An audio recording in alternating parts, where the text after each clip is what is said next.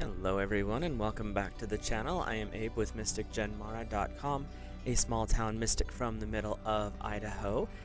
And today is Samhain, it's 1031, everyone calls it Halloween. Um, and we're gonna do a little bit of a discussion about things and then do a little relaxing meditation, guided visualization, however you want to view that. Um, just kind of getting us a little bit of a different viewpoint on what this holiday is really about and what this Sabbath does really actually mean. There's more to it than just costumes and trick-or-treating. So, um, I have notes here just a second, sorry. the name of the Sabbath, which is a sacred holiday, as we've talked about with different ones through the years, um, it basically means end of summer is one of the general definitions of Samhain. Uh, it's a time when the veil between the worlds is very thin. With Beltane and Samhain, these are the two where the veils are thinner. With Beltane, it's believed to be primarily the fairy and the angelic realm, which is the veils that are thin. With Samhain, it's all of them. There's not really a gate or door that we couldn't access if you wanted to which makes it a little bit uh, intense at times. The emotions can be very high, the energy can be very uh, almost oppressive if you want to go there, but that doesn't mean it's bad, it just means that there's a lot of it. So, where with Beltane, it's about fairies, angels, fertility, new life. Samhain is more focused on the end of life, the end of the sun, the end of summer, and preserving and setting yourself up for cold times ahead, which is something, you know, preparing for the future is always a good idea. So, the same thing with Beltane. Samhain, societal norms are kind of tossed out the window. The rich are poor, the poor act rich, the slave becomes the master, the master is the slave. Um, it's time to kind of step out of your normal everyday life and become someone else which is where a lot of our modern day versions of, of decorating, of dressing up for Halloween come from. Uh, they also believed back in the day that by disguising your features or disguising yourself as something else, it allowed the other spirits to not know who was human and who wasn't. This was their belief. Uh, and so that they could not get, you know, accidentally absconded with into another realm. Uh, in the old days, this was a period of time where you could cut loose. wasn't required, but it was an option. Um, excess tended to be a big thing with this Sabbath as well as Beltane, but this was a time of celebration of the final harvest, saying goodbye to those who'd passed, celebrating the ancestors, and in some cases, this could be a very serious and sad time, but it wasn't meant to be morose. It was to be reverent, but to a point. but it was also a time of if you were having emotional issues because you'd lost someone that was very close to you, this was a way for you to kind of grieve through the process and understand that life isn't just one aspect, of this life that we have right now is not just the one aspect of our existence, it's a continuation. And that's when we come to Samhain, we understand that this life with this skin suit we have is a portion of who we are as an existing species and an existing spirit. When we cross the veil into the underworld, into the next life, however that looks, Heaven, Summerland, um, uh, Tartarus, whatever, depending on where you're going, uh, when we cross into that, that's another part of our existence. This is only one aspect of it, and that's the beauty of Samhain is it shows you that yeah, you lost that person, and it's a very sad event. But remember the joys and the blessings and the happiness that you had with that person, because as long as you can remember that, you'll understand that the person never really leaves in that respect. The one of the phrases I've heard before is one of the biggest ways to guarantee immortality is to be a loving memory in someone's heart that's a way to keep that person alive. That's the reason a lot of people take Samhain and they impose this dark aspect to it of it's a sad time when we must be very morose and very serious and very or you could do what a lot of people are doing now, which is a celebration of life. Yes, it is sad, but why not enjoy the happy times? Yes, they're gone, but why not remember the joy that they brought you? So when you start getting into this aspect of it, Samhain is a unique one because there's a balance that you have to try to maintain with understanding that the grieving process is a long-term process. There are steps that you need to work through as you go through it, and you're going to go one, two, three, six, one, two, three, six, one, two, five, two. It's going to be a continual bouncing around with that grieving process.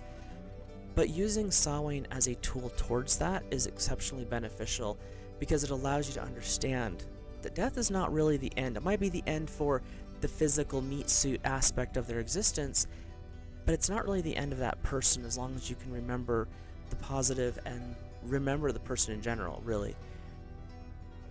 Uh, this is the third harvest in the ancient world, which would be classified primarily as the meat harvest, the butchering hunting season. Uh, the first was the fruits and summer crops, which was in August 1st. The second was grains, a lot of your root crops, not all of them, and some of your winter veggies, which was at Mabon, which was um, the autumn equinox, September 21st.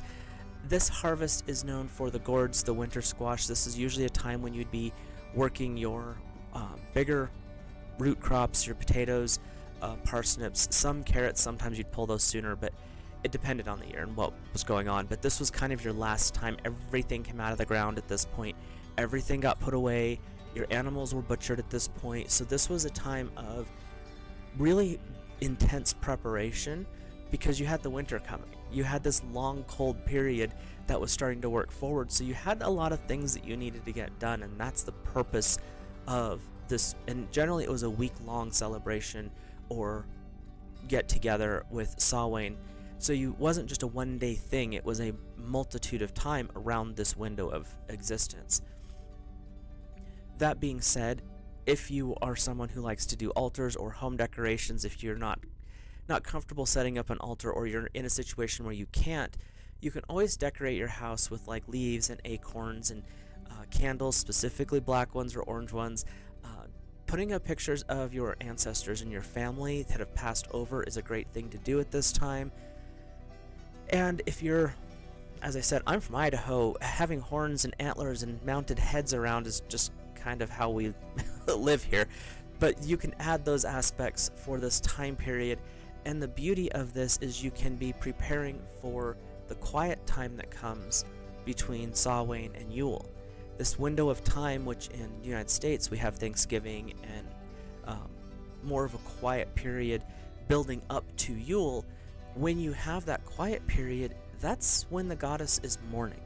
Her spouse, the Lord, has went into the underworld he's dealing with all the darkness and conquering all of that. But the, the sun, big sun in the sky, S-U-N, has went into darkness. So this is a time when you notice the days are getting really short, the temperatures are dropping rapidly, and it's a quiet period. The lady's in mourning, so the land is dying, the sun is going down and shrinking basically. So this is a time for refreshing ourselves, resting because we need it after the summer, obviously. And it's also a good time to start planting the seeds of what you want to build starting at Yule. So this is a good window of time to think about big, broad terms. Samhain is the time, in my mind anyway, to set the, the basic intentions. I want to be prosperous. I want to be in a loving relationship. I want to have a better job, my career, I want my career to be better. You're looking at things broad spectrum when you are planting the seeds at this point. Between now and Yule, this is a time to refine those wants, desires, and needs into very specific end game goals. What does prosperity look like to you? What kind of a spouse are you looking for? Um, what kind of a career change, growth, paycheck, etc. are you looking to build? That's the middle period. That's the things you can think about between now and Yule. Because at Yule, we start building our vision boards because that's when the sun returns, that's when life starts to come back to the world. We're still cold, but it takes time for the sun to mature. And when we talk about the sun at Yule, it's the returning solar infant has to grow into an adult, and so you have that growth period. But if you're growing your intentions with the sun, it's a good way to remember what you're working on and how you're working on it. So, this is a time for to start planting some of those seeds. The other thing, uh, as I have been meditating upon these discussions, is what do you want to release? What do you want to let go of at this time? Habits, self talk that's negative, um, picking a better food source for your diet, whatever it is that you're looking at, what is it you want to re- let go of? This is a time to release it into the underworld, to let it go with the God into the darkness. He'll leave it down there where it belongs. You don't need to have that back. and that's the part where we can start to really bring into focus. We're celebrating those who have passed. We're letting go of things that no longer serve us or we no longer need. And we're planting seeds of the future. When you look at Samhain as a harvest period, you're doing all of that. You're you're saying goodbye to the things of the past, the summer, the harvesting, the animals. You're setting yourself up for the future. You're putting up food, you're putting up meat, you are, you know, stocking the house and the barn and woodshed and all that stuff with all the necessities you're going to need to survive through the winter. But you're also taking time to rest because most of your busy work is done by this point, and once all of the cleanup from Samhain is done, it's basically you're feeding the animals and taking care of the home. If you look back to the old days, there was a little bit of hunting that still went on, but it wasn't as intensive. You didn't have anything to plant, so a lot of what you were doing was indoors at this time. So we have this pretty cool dynamic of what are what is this holiday about? It embraces everything in one holiday, which is unique because they don't all do this. so as we're going forward here, um, I'm going to say this now, and then when we get into the visualization, you'll understand more. I want you to think about one thing, just one, don't need to overwhelm yourself, one thing that you want to let go of, one thing that you are ready to release, to unburden yourself with because it's no longer necessary. One thing like that. And the second thing I want you to think about is seeds you want to plant for the future. So is it the prosperity? Is it the abundance? Is it the spouse, the new spouse or partner? Is it um, job, career, house, whatever it is? In general terms, we're not looking at details right now. This is set planting a seed. So you're looking for a general concept. So one thing to let go of, and at least one thing that you want to plant going forward. So think about that as we move along here. When we look at Samhain, it is a time to commune with the ancestors. It is a time to say goodbye to those who've passed, and I keep saying that, I know, but it's also a time to greet those are coming, who are coming back as guides in from the departed, people who are spirit guides. Sometimes it's ancestors, sometimes it's spiritual ancestors, maybe not blood relation, but those who are within the spiritual path that you're on, or something along those lines. This is where you get into really focusing on paying attention. This particular week, with Samhain being the middle of a seven day period, um, pay attention to your dreams, pay attention to your gut instincts. Those little breezes when you're in a room that shouldn't have a breeze, or you're hearing a voice that there's no one else around you. Pay attention to those. Don't don't look too far into it, but pay attention to it. Be like, what's being said? What am I hearing? Just so you can be aware that this is a time when things are a little bit different because the veils are so thin. Um, part of one way you can actually celebrate with your ancestors is to have a silent table or at least a silent si- uh, setting of at your table at your main table where the seat remains empty food gets put on the plate but no one touches it and that's a way for you to basically remind yourself that you have ancestors. You didn't just pop up here out of nowhere, and you've been guided through your ancestors and spirit guides through your entire life. When the evening is over and the celebration is over, that food is not to be consumed by anyone there. It is to be given as an offering to nature, toss it to the, you know, out in the field type thing, because it's meant for the basically the nutritional value out of it is been consumed by the spirit guides and ancestors, so it just needs to be tossed to the animals, and then they can get what they need out of it. Um, it's one of those things that it's kind of interesting to think about, but this was a an older practice. I don't know how far back, but I do know that it was goes back a ways. So this is also a time where you can do long-term divination because the veil is thin. Secrets tend to be revealed at this time, so if there's something that you think you're hiding, it could very well come to light at this point in the year because with the veils thin, you can't really hide from anything. The veils between worlds also are the veils of our auras and our energy fields, so it makes it harder for us to keep those things secret, and that can trigger some shadow work, that can trigger some truth being uncovered and about situations, clearing blocks, opening your doors type thing. And this is where it's really good to stay grounded. You know, take your shoes off when you get home, don't wear socks, put your feet as close to the ground as possible. Um, if it's not snowing and freezing, put your feet on the dirt outside. Just really keep yourself grounded through this week because things can get a little wonky and a little intense. It's just something to be aware of and remember, you know, keep your breathing in your belly and deep. Don't breathe shallow, but also stay grounded so that you can handle anything that comes up. And sometimes nothing comes up, which is the best part because you've you've lived an authentic life so you don't need to have that come up. Sometimes it comes up because it's a reminder, hey, you're not being fully authentic here and it takes time. Don't get me wrong, you're not going to do it all in one lifetime. So just enjoy the ride type situation. Um, the other part of this holiday, the Sabbath, is a transformative period. As the spirits of the ancestors are transformed into spirit guides, sometimes they're being cycled back through it if you believe in the reincarnation aspect of things. And this is a call for you to transform into a better version of yourself. You're releasing something that no longer serves you, and you're planting seeds for future growth. So, this is a way for you to look back and see how far you've come in the last 12 months, but also where do you want to go in the next 12 months. So, this is some time to look at a like some mirror work, see where you're at, see what you've done. Um, starting to build your vision boards to be officially finished on uh, Yule, things like that. So just some processes to start working towards if you're interested in that kind of stuff. Oh, do do do do do.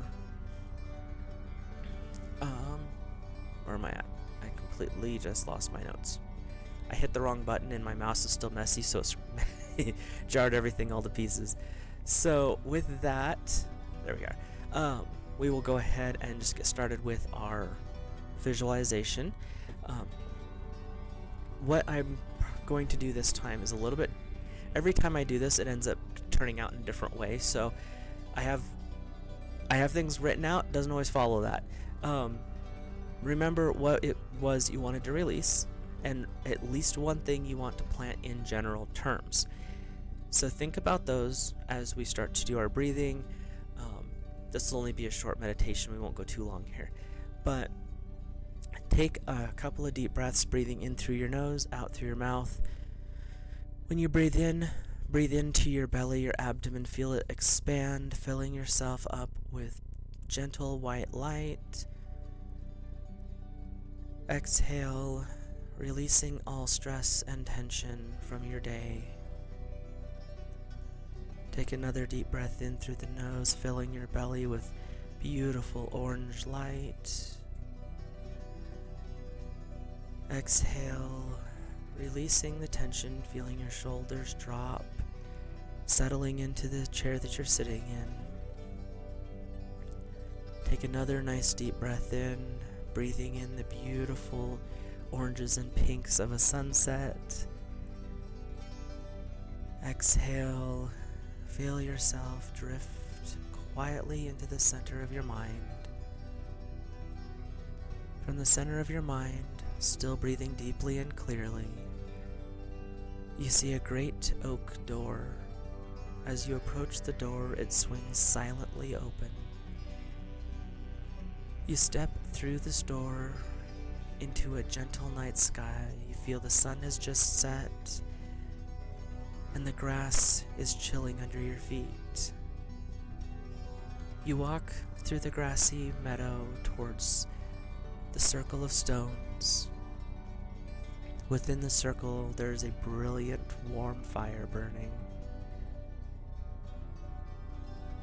You step through the eastern gate and you gaze upon the fire. The bonfire of the Sabbath, the beautiful warming glow fills your soul. You step inside, closer to the fire, and you notice there's others around, visiting, chatting. Some you recognize, some you don't. You walk amongst the participants, smiling, laughing, thinking about those who you've missed, remembering the good times, the funny stories, the antics from childhood, all the happiness that comes with them.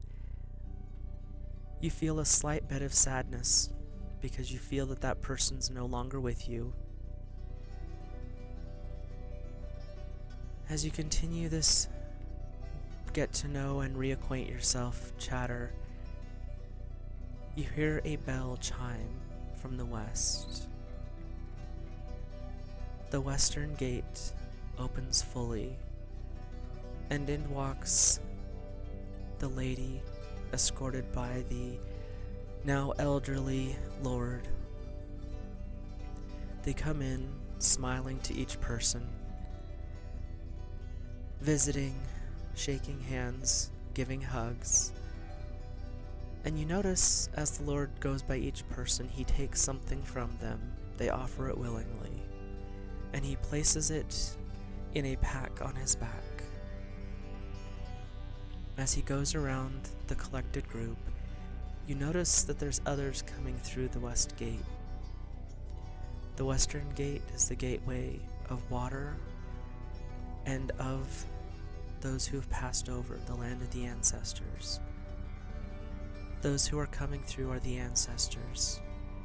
As the Lord and Lady continue around the circle, you notice that the ancestors are milling about. They're visiting, they're finding those loved ones. Many hugs and many tears are exchanged. Your ancestors come to you, embracing you. Everyone's laughing and crying at the same time because they're so overjoyed. Pictures of family members, of pets, of children are all being shown. Tales of the old days are being shared. You keep an eye on the Lord and Lady. They're an imposing figure even in his older age. As your family and your ancestors visit and talk and just remember the good old days, messages that may be important for the future are passed from them to you little ideas, stories that you forgot are all being brought back to the surface. Eventually, the Lord makes it around the circle to where you're at. He stops next to you personally. The lady gives you a warm embrace. The Lord asks you, Do you have anything that you would like me to leave in the underworld on my journey? You take the habit, this whatever it is that you're wanting to release, and it's in a little black box, and you hand it to the Lord. He adds it to his already heavy pack, and he stoops under the weight. He gives you a quick embrace as he walks around the circle with the lady by his side, collecting similar little black boxes from others who are ready to release different habits, patterns, thought forms. And eventually, he makes it back to the western gate. The ancestors sense that their time has come to an end. Final hugs, final tears are passed between you and your ancestors you look through your teary eyes and you wipe the tears away to notice that others are dealing with the same sorrows. The joy was so great, but the sorrow is so deep. The ancestors slowly weave their way back towards the western gate. Through the gate, they pass the Lord waits till the very last one goes through the western gate. He turns to the lady, and they embrace. You hear him say to her, This is not the end, my love. This is just a rest. I'll return when the sun begins to grow. A final kiss, and he steps through the veil of the western gate. It closes slowly behind him. And with a slight whoosh, the veils between worlds have closed again. The lady seeks to find comfort in all of those assembled. She goes around with a beautiful amethyst bowl. This amethyst bowl is collecting her tears, but she's also collecting the seeds of the future. From sorrow does growth occur. Sorrow feeds joy, joy feeds sorrow. Both are the same, but different. She comes around the circle to where you are, and you deposit your seeds, whether it's one or many. She smiles, pats you on the cheek, gives you a quick kiss to the forehead as she continues on. Her sorrow and her sadness are very deep, but she also has hope that in this Yule the sun will return and her heart will be full once again. Before she leaves, carrying her amethyst bowl full of all the hopes, the dreams, the seeds to be planted, she tells everyone remember, this is a time for rest, for recuperation, for looking ahead to the joys and the blessings of the future. Samhain does not indicate the end completely. It indicates a rest before the new beginning. She steps through a door next to the western gate, returning to the stars and her home. You feel the fire slowly start to burn down to gentle coals and from there you realize it's time to return. You bid your companions and your acquaintances goodbye as you step through the eastern gate, walking slowly away from the warming fire. In the time you've been in the circle, the grass has grown crisp with frost and chill. You can see your air, your breath in the air. You hurry back to the great oak door. Stepping back into the center of your mind, the great door closes behind you silently. You feel lighter for the letting go, but there's a little bit of sadness there because you got to see your ancestors and they had to return. As you breathe deeply, coming back into your body, into this now moment, you're aware that your ancestors are always around, you just may not see them.